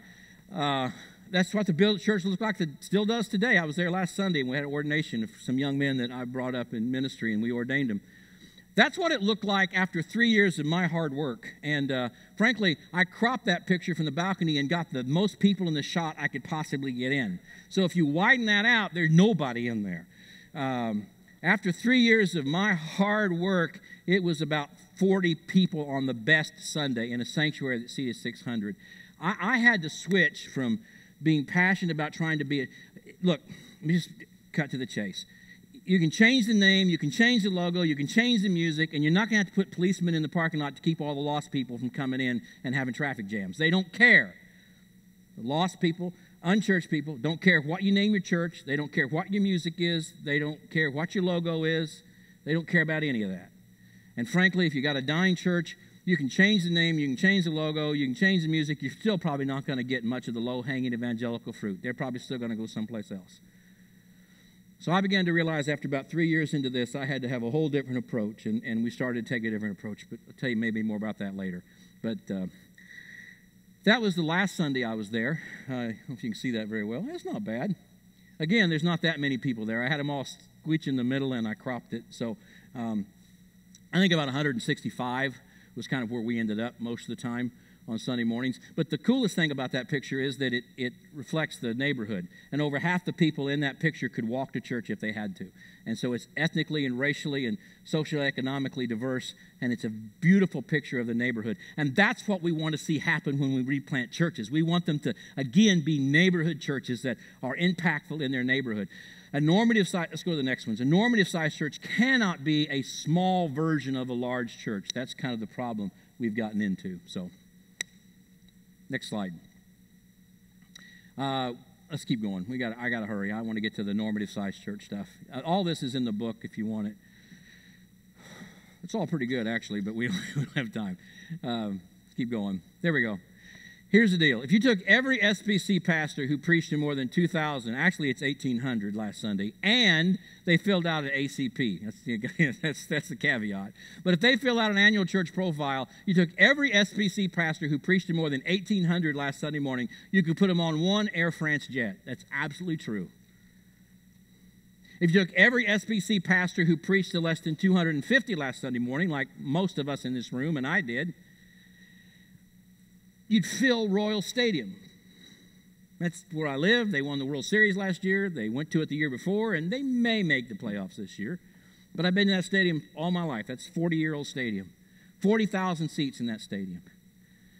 You, pa- you preach to less than 250 on Sunday, maybe less than 200, maybe less than 100. You feel like sometimes you don't matter as much, and, and, and what could we impact? Look, there aren't we love the, the, large churches. If it weren't for the large churches, our, our denomination, our missions giving, our evangelism, our, all of that, we would be off the table. I mean, that's the thing that's just kind of keeping. But can you? Um, but there aren't enough big churches to transform North America. Sometimes we think there are. You can put all of them on one jet. Every pastor, every senior pastor of every church, every Southern Baptist church that preaches to more than 2,000 last weekend could get on one jet. But every pastor who preached to less than 250 would fill every seat in Royal Stadium. What if every one of those churches became disciple making, community transforming places in their neighborhoods once again? That's transforming. And that's why Satan doesn't want it to happen. And many times, those of us in Norman, and I don't call them small churches ever. Keep going. I don't call them small churches ever. Uh, success is not a, a, a, simply a smaller version of a larger church. I call it a normative sized church. I have four grandsons under the age of four. If my daughter in laws take my grandsons to the pediatrician, the pediatrician says, You're in the 90th percentile, they're not going to say they're small. If you're here today and you're under 250 in gathered worship, you're not small, you're normal. You're like 90% of all Southern Baptist churches. And why do I think that's important? I think small is a limiting word to many of our lay folks. So they think we're a small church, we have to let all the mission stuff, all the heavy lifting be up to the big church. Or they think we got to grow and become like a big church. We got, we got to imitate the big church. Look, success is not simply a smaller version of a larger church. You can't imitate that. You can't reproduce what that larger church can do. So when we talk about replanting churches and being successful, this is how we define success, and it's, it's how the New Testament defines success. This is success, the success, success matrix in a, in a church. And when we talk to churches about what it means to replant yourself and, and let God do something new here, we're not focused on how do you grow from. I okay, the first three years I was trying to get it. I was trying to grow numbers. I was at 18. I just wanted to get to 30. And I thought if I could get to 30, I could get to 40. If I could get to 40, I could get 60. Let me tell you what, when you got a church that used to run 400 and now it's down to 18 and they don't have any money and the building's falling in on them, getting it to 30, I mean, there were many Sundays we had people come in and during the song service they would leave, they wouldn't stay. Many Sundays. And I don't blame them. I look around and see 20 people in this sanctuary, at seat 600 and, and they think, I don't need a project in my life. I'm not looking for that. And actually, it was a, a young, young man who was from India who was a Hindu. His name was Kumar Venugopal. He came to Kansas City uh, to go to school at UMKC down the street from our church. And uh, a, a Korean math professor really introduced him to the gospel. And he was, he was at that math professor's house one night, and, and he was Hindu, and he was interested in all religions. And when the professor introduced him to the gospel, he wasn't particularly, he'd heard some of that. He wasn't particularly you know, overly impressed with it. It was just a good story. But he liked religion. And so he, he asked the professor, he said, Can I take one of your books and read it? The professor said, Sure. And so it was this big book, Kumar told me, big, thick book, and it said Romans on it. And he kind of thought it was about Rome, the Roman Empire, you know? It was Martyn Lloyd-Jones' commentary on Romans. So he took that with him and he read it. It's like Martin Luther's story, man. Over a period of months, the kid got radically converted and deeply interested in theology and uh, he went online, and he's a he's a pharmaceutical uh, executive and now, but he, he got his seminary degree online, and he became one of my key guys at Wornall. And he told me one day, he said, "You just have to quit trying to grow this church, and, and you need to love and disciple the ones who are here." This is a kid who did not grow up in an evangelical ghetto. I'm a son of a Southern Baptist pastor and a great grandson of a Southern Baptist pastor. I thought I knew what I was doing. I'd planted a dozen churches in my life. This young Hindu kid who just got converted saw what I was doing and how wrong it was. And I was trying to be a, I was just figuring, how could we get this thing to grow? How could I mimic what was happening in larger churches so the people would come? And there sat in front of me 20 or 25 people, and I just needed to get them to love Jesus more and disciple them more and to teach them how to be disciples. And then we would do whatever we could do to love our community with such radical abandon that the community could not ignore how much we love Jesus. That is all there is to replanting a church. I say that's all there is. There are ways we go about that, but that's it. It's not about how do we grow to past 100, how do we grow past 150. How do, it's how do we make disciples that make disciples that make the community noticeably better. So that's our six replanting imperatives. It begins with prayer. Kumar and I started meeting at his request on Thursday nights at 10 p.m. to about midnight, praying for ourselves that we would be responsive to the Holy Spirit in all of this. Then you love and shepherd the church's remaining members. These are things you do simultaneous. You don't do them, and you, you don't have to be dead church to do this. You, this is obviously something you can do to church revitalization. You pray without ceasing. You don't ever quit praying. I mean, you're not going to do this without prayer. I mean, it, it's just please. I mean, plead with him and beg with him and, and pour your heart out to him. It, it wasn't until Kumar and I, and then he brought another young man named Brian. And I, look, I've been a pastor for 30 years. My father had been a pastor, my great grandfather, and I've been to prayer meetings, but I've never been to prayer meetings like this. I've never been to prayer meetings where two young laymen come after they go to work all day and they take care of their family, put their families to bed, and they come to the church at 10 o'clock so they can spend two hours with me praying for themselves that they would hunger and desire holiness and disciple people and disciple this church and then love and shepherd the church's remaining members. Disciple them and, and, and, and not, you know, to teach them to observe everything that Jesus, not just teach them, but to observe. And I don't have time to unpack all of that. But along with that, at the same time, exegete and serve the community. We determined that we were going to be the most generous people in our neighborhood, period and we were going to give everything we had away. And the only asset we had at that point was the building. And so we decided that whatever needed, however this building could serve the neighborhood, we were going to use it to serve the neighborhood. And we did. And we served all other kinds of ways. And again, I don't have time to get in all of that. But we need to be the most generous people. You change the reputation of your dying church not by changing its name or its logo or its music. You change it because you have a pattern of serving people. And it costs you a lot to serve people. It takes your time, it takes your money, it takes your it takes your your heart, it takes your sweat, it takes your blood, it takes it all. But the most generous person on the face of the earth should be those who are the most been most generously dealt with. And, and we do that because of the gospel. Second, next week, simplify your strategies. You, you got, when you, once you determine that success is making disciples who make disciples that make the community noticeably better, then you begin to say, well, what are we doing that's not helping us do that. And we quit doing those things. And what are we doing that helps us do that? And we do more of them. It's just that simple. Next one. And then you focus on young men. Um, that's the sort of the secret sauce, to be frank about it. Um, it's not that we don't want to hang around and focus on, on older men or on women, uh, but, but the reality is, having spent 20, 25 years planting churches, I've never been around church plant, a church plant that, that didn't have sort of an abundance of young men between the ages of 18 and 30. And likewise, I'd never been to a dying church where I sat with them in a consult and they said, Here's the problem, Mark. We got too many young men around here between the age of 18 and 30 that are engaged in leadership. And Alvin Reid has said on many occasions, the great movements of God throughout all of Christendom never begin with men my age. But men my age are pretty good at quenching them. God has chosen to use constantly young men. And so I determined, and it's Kumar over on the far that side, my left. I determined that I was going to carve out. And by the way, when I went to Wornall, after a few months there, God called me to stay. I had to resign as a director of missions and get a job and be fully bivocational at age 40. that was a good conversation to have with my wife. And uh, so I know what it's like to work 40, 45 hours a week and try to replant a church. So I, I knew that I had to focus like a laser on, on, on asking God to bring one or two young men across my path that I could lead to Christ, to disciple. And actually, they all ended up discipling me, to be frank about it, like Kumar did. But that was the game changer. And be intentional about spending time with young men. One of those guys, we ordained a couple of them. It, the, the number grew to about eight beyond that some of those went to go plant a church. Most of them are still at Wornall. One of them uh, was ordained last Sunday.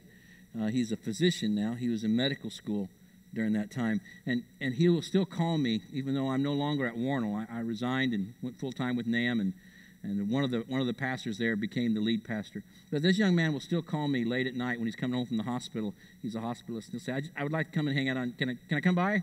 And, and say, sure, I may be in bed. He'll text me. He'll say, are you up? And I say, yep, I'm up, because I am now. And, uh, and I say, he said, I'm going to come by. And so he'll just come around on the deck, and I'll hear him walk up the steps of the deck, and I'll get out of the house and sit there on the deck with him. And maybe for two or three hours, from midnight to sometimes two or three, we'll sit and he'll just talk about life. And um, listen, I have two biological sons that I, that I love dearly and that are close to me, and they're the joy of my life.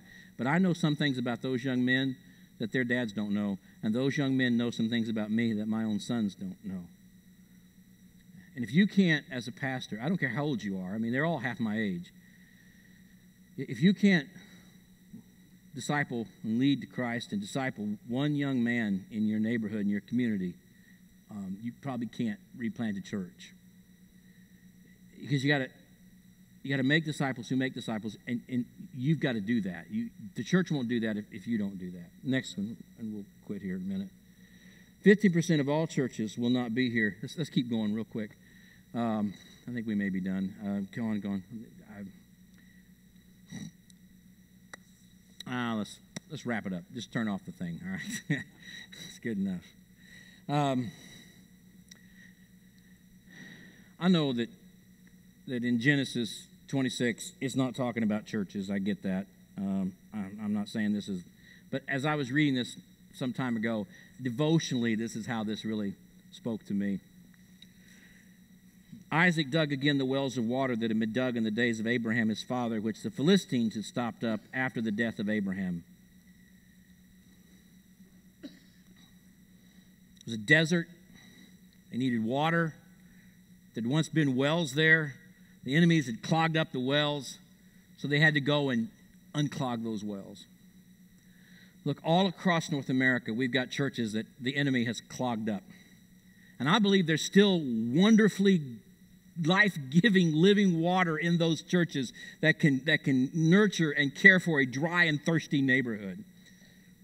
But we have to be intentional about digging out the stuff that the adversary has stopped up there. We do that for God's glory and for our joy. And so, your leaders here in the Southern Baptist Convention of Virginia have a passion to help churches revitalize and grow again. And if your church is at the point of perhaps closure or not knowing what to do, your local association and your state convention have all kinds of strategies to help you understand how your church can continue to glorify God and continue to live in one form or another. And sometimes, you know, we've identified basically four general pathways for replanting. One of them is pretty obvious. You just give your building to a church plant or to a partner. And there's nothing wrong with that. I mean, we, that's a very vital and important way of making sure that asset and that resource continues to glorify God. The second one is you share your building with the church plant. Maybe your building's large enough and church plants need to have room. At Wornall, we always had three or four churches sharing our building. We launched nine new churches out of that because we used our building as an incubator. Hey, thank you. Got that there. Good. the other is you, you merge with the church plant. And I know that seems like that wouldn't work, but I've had a lot of experience this past couple of years of seeing that work exceedingly well. So those are, those are sort of four of those pathways. Give the building to a new plant or give the building to a partner like a state convention or association. Share the building with a new plant, merge with a new plant. And the last one is replant from within.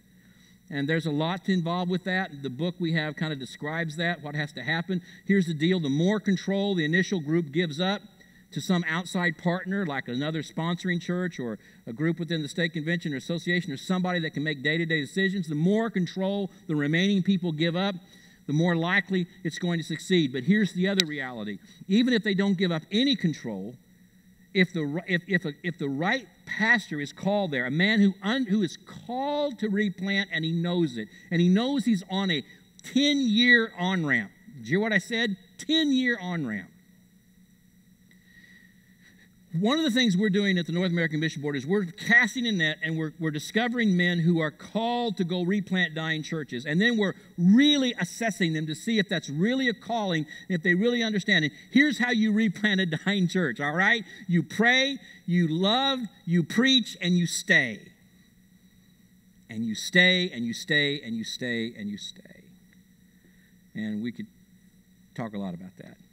But we're beginning to see some really high capacity guys go to really difficult places, and God's doing some amazing things. And, and, and, now we're seeing, we closed 17 Southern Baptist churches a week across North America. But this past year, we're seeing four Southern Baptist churches every week get replanted. And that number is beginning to continue to increase. It's probably larger than that once we connect all the dots and really get all the stories. We don't want churches to die for the glory of God in that neighborhood and also for the joy of those remaining members. Those 18 that were at Wornall, except for those who've passed away or gone into care centers, they're all still at Wornall. They get to enjoy, even Forrest, he's there last Sunday passing out bulletins and not saying anything about people who bring coffee in anymore. There wasn't a young man at that church when Forrest was there. His wife was always uh, convalescent. His wife was never able to, to come to church, he was always homebound. And Forrest always had the latest iPhone, he just never knew how to use it. And he always sat on the front row, and he always left it on, and he always left it on speaker. And always, sometime during the worship, his wife would call him and ask when he was coming home, and he would always answer her in a very loud voice, We're in church, I'll be home later. That happened a lot. Normandy sized churches are great places. And, uh, you know, as we'd have young professionals, we had physicians and architects living in that neighborhood, they would come. When Forrest, when that would happen and Forrest was on the front row, and nobody in our church seemed upset about it, nobody seemed like it was uncomfortable. As a preacher, me or one of the other guys who was preaching, we didn't stop preaching, we just kept going. I had a number of, of visitors tell me that they really respected a church that allowed that to happen and loved that older gentleman and didn't make him feel bad and so Forrest's wife passed away finally, and uh, I had just left to go work for the North American Mission Board, and he asked me to come back and do the funeral, and I said sure. So I met with him in the funeral home, and uh, was going through the what we were going to do for the funeral the next day, and I asked about the pallbearers, and Forrest said he didn't have any, that he had no children, he had no siblings, his wife had no siblings, there was no nephews, he hadn't worked for, for years, he really didn't have anybody and that the funeral home would, would provide him because the funeral was going to be like a Tuesday morning at 10, and he didn't think, you know, anybody from the, many people from the church would be there. So, so I said, well, Forrest, if, if I can help provide the pallbearers, that'd be all right. He said, well, sure.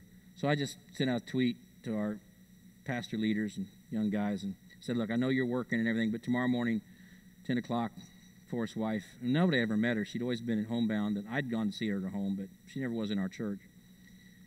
So the next morning, get to the funeral home, and you know, whole front two rows on one side all of our young men. They've all taken off work.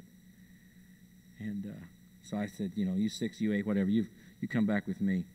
We went back, and I told Forrest, I said, here are your pallbearers. And I mean, he just cried uncontrollably, and they did too. And so uh, that day when we took her out of the funeral home and into the funeral car, it was those those six young men that drink coffee in the church that carried his wife. And I'll tell you what, he'd take a bullet for any of them right now. They, they could bring a hoagie sandwich in there and he wouldn't care. Okay? So, what I'm saying is, his joy increased, okay? It's about increasing the joy of the remaining members as well. All right, here's what I got for you. There's a card on your table there. It says replant. If you'll fill that card out, Maybe you're interested in maybe your church needs to be replanted, or you'd like to help a church get replanted, or you'll pray for a church to be replanted, or maybe you're, you're sharing your building, you would share your building, or maybe you want to plant a church.